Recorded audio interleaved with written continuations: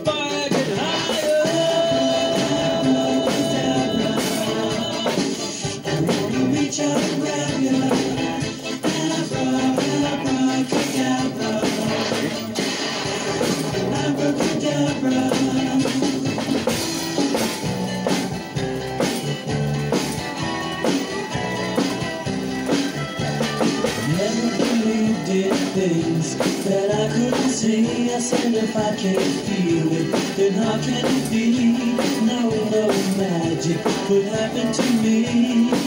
And then I saw you, I couldn't believe it. You took my heart, I couldn't retrieve it. Said to myself, it all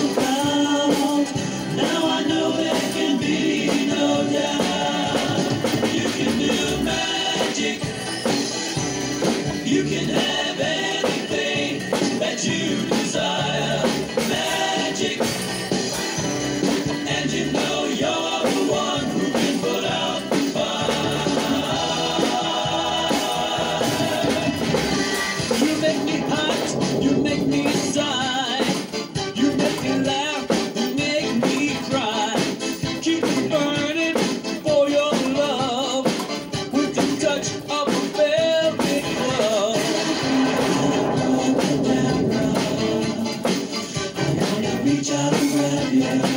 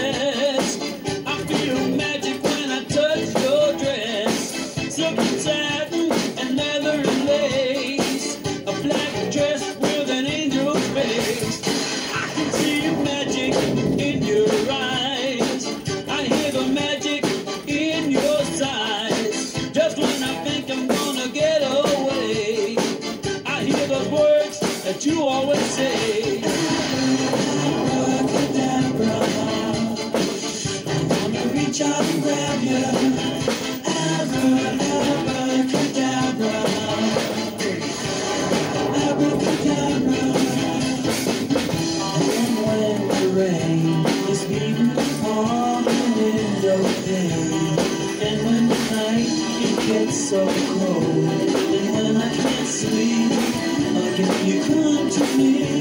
I hold you tight, the rain disappears, you would believe it.